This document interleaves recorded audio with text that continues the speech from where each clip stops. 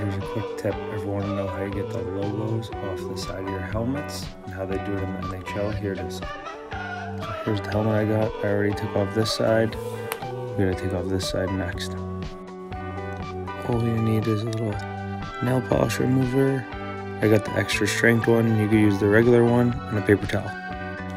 Put just a touch there on the paper towel. And just like this, wipe it in. Crazy how quick this comes right off. Can't even make it up. Nail polish remover, paper towel, light touch elbow grease.